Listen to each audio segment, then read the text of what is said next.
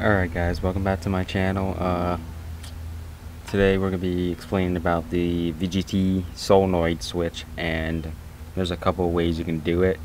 Um, right now I have it wired up to a, a toggle switch down at the, uh, the dashboard. I'll look at the dashboard, looks bad. That will be all be solved once the swap is uh, going to be ready. But I'm to show the other way I'm to do it. So let's pop the hood and uh, show you.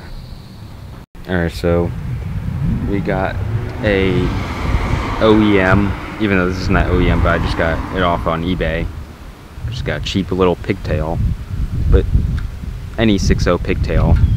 And this is a Duramax too, so they're both the same. Um, then put that back in there, the VGT solenoid. Clipped it so we uh, ran wires here all on that side.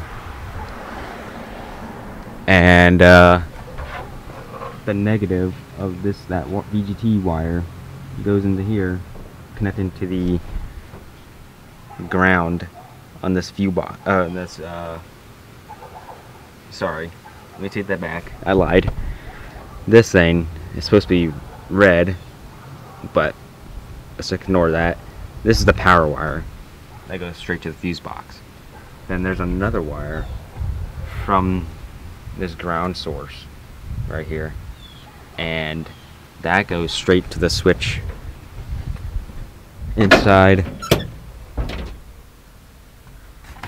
Goes straight to this switch right here. This switch actuates the VGT uh, vanes on the turbo. And you just click it or you you you uh, you click it on when you first start moving, so that's up, and then when you're in mid driving, I'd say like maybe 10 miles an hour, you just click it off, and then you'll be good. But when I do this engine swap to the different body, so I'm gonna have this engine in a different body, um, because the body I have is 1970. So the other mechanical way of doing this is also I think on some of the uh, um, Cummins they had a throttle position sensor. I could be wrong but I'm pretty sure on the newer ones again correct me if I'm wrong but you can put a rheostat uh, I don't know what you call it a servo right here with an Allen because this is an Allen bolt right here or Allen shaft. Put an Allen uh, key or Hallen hex on that rheostat. You can make a bracket that bolts to these three bolts or how you ever want to make the bracket. Then it would just be that. So whenever you control the throttle, tells what voltage to go into the the rheostat.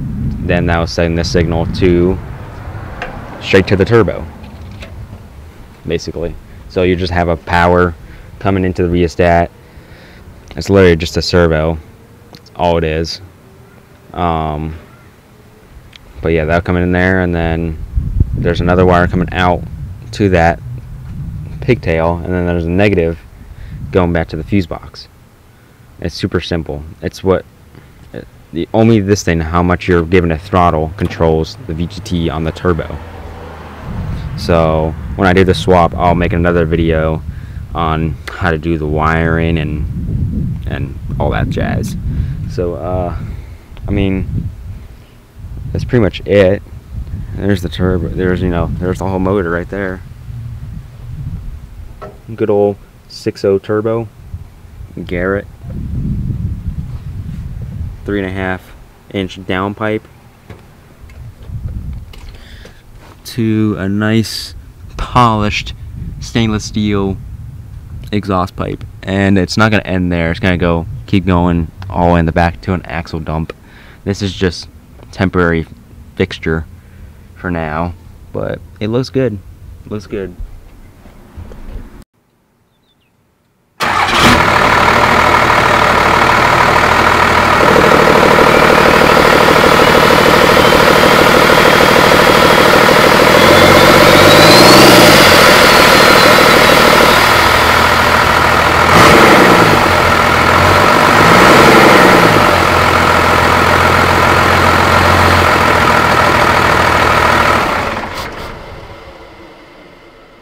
that's pretty much it for this video. Uh, if you got any comments or concerns, just just let me know in the comments and I'll try my best to answer them.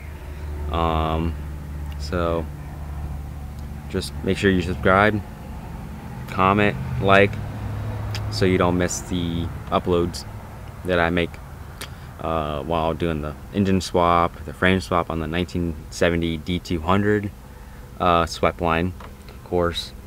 Um, and uh, yeah, and that's it. See ya.